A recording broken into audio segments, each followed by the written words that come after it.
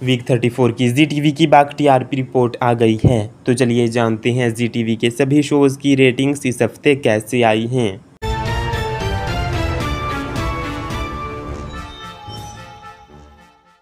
Number eight पर आया है रब से है दुआ, जिसको मिले हैं zero point four rating point से। शो की रेटिंग्स में पॉइंट थ्री की गिरावट आई है। नंबर सेवन पर आया है प्यार का पहला अध्याय शिव शक्ति, जिसको मिले हैं zero point four rating point से। शो फेयर हो चुका है, ये इसके लास्ट रेटिंग्स हैं। नंबर सिक्स पर आया है, मैं हूँ साथ तेरे, जिसने हासिल किए हैं zero point six rating points से यह शो भी दर्शकों को अलविदा कह चुका है। नंबर फाइव पर आया है, प्यार का पहला नाम राधा मोहन जिसको मिले हैं zero point seven rating points show की रेटिंग्स में ज़ीरो पॉइंट वन की गिरावट आई है और नंबर फोर पर आया है, कैसे मुझे तुम मिल गए? जिसने एक स्लॉट पर हासिल किए हैं zero point seven rating point से तो वहीं दूसरे टेन पीएम वाले स्लॉट पर शो की रेटिंग्स वन पॉइंट ज़ीरो आई हैं।